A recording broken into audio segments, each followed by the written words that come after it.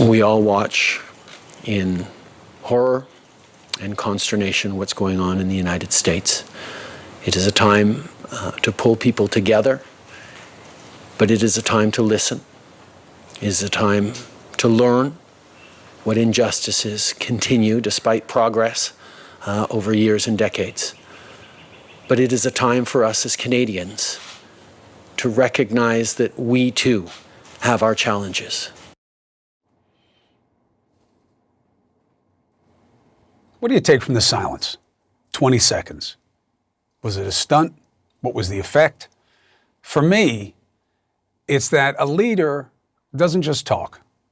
A leader has to listen, but most importantly, a leader has to feel. A leader has to feel what the people he leads feels. He doesn't have to have the same experience, but he has to understand their experience. I'll be back at midnight Eastern tonight. Our coverage continues, of course, with the man, D. Lemon, and CNN Tonight. I think he's many of us right now. Good evening, by the way. I think he's many of us. Many of us are at a loss for words.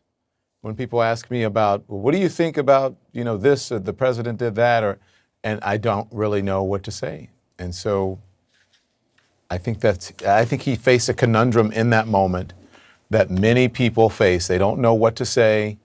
They don't want to say the wrong thing. They don't want to jump to conclusions, and then you're just sort of flummoxed because we've never really seen anything like this before. We've never been in this position. No, I mean, look, we've obviously we've had protests, we've had wrongful killings, we've had prosecutions that don't go the way they're supposed to go. Um, but there's just such a starkness in contrast and such a profound pain. See, I think people keep missing, not you, but people keep missing the pain. They see the anger, they see the anger in the protests, and they judge the anger because, frankly, Don, it's easier to do. Um, it's easier to identify with. Everybody gets anger. Not everybody gets pain and hurt, yeah. especially in a context like this. And I've never seen during this administration as stark a contrast. Kind of close with what was going on on the border and putting kids in cages and him not giving a damn about that and lying about it and putting it on other people. But now these are all Americans you're dealing with. There's no other unless an other you choose to create. Yeah. Pain and fear. Pain and, and fear. I, uh, listen, I know people who are afraid. They're, they see the people out on the streets. They're not afraid of the legitimate protesters, but they're afraid of the looters, even coming into their own homes, coming to, into their businesses.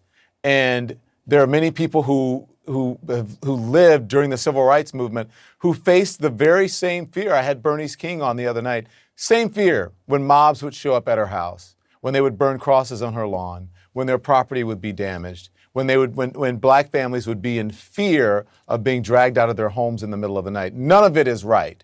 But what I'm saying is that we are gripped in fear right now and we don't know what to do on many, many different levels. And it's time for some understanding.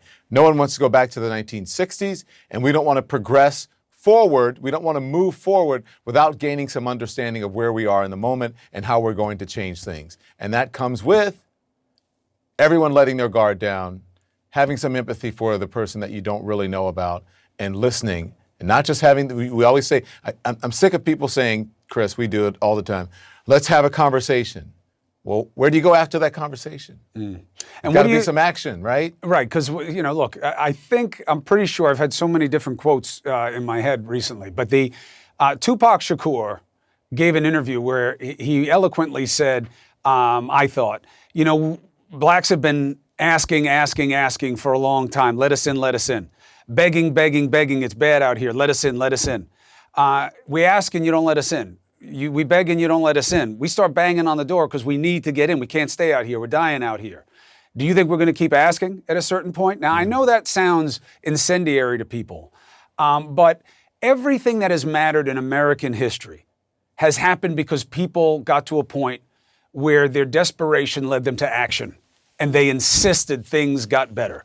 That's, we've ne- we've never done it by just a conversation and a pat on the back. It doesn't mean insurrection. It doesn't mean civil war. It, yeah. it means passion that fuels anger, that fuels but change. The, the thing is, Chris, it does mean insurrection, and I don't mean I don't mean it in a way that people. Let me.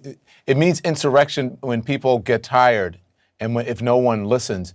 then it fuels insurrection. Do you, un- do you understand what I'm saying? Yes. After a while, people say, okay, look, I'm tired of this.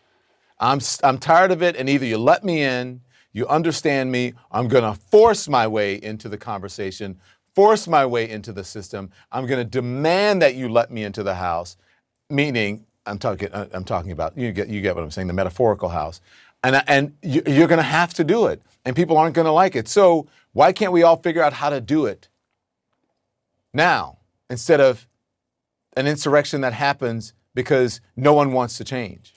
And I think that what we've learned, you Yeah. know, you and I aren't young anymore. You know, we've been seeing this for Speak a long. yourself. Well, you look young, but you're not. And we've been living this a long time. Yeah. And it's frustrating, and I understand people's frustration because what we've learned is there is no solution. There are solutions. Yeah, a lot of different things have to happen, and it has to begin with a grassroots momentum that rewards people for capturing what they feel and punishing those who do not, and leadership on the top and those in power who recognize the opportunity and the need. That's what these. That's what what you're looking at. Seattle is all about right there. That is that. That's the grassroots. That's our future, showing us, asking us, are you going to come with us? Are we going to have to drag you? Are you going to stay where you are?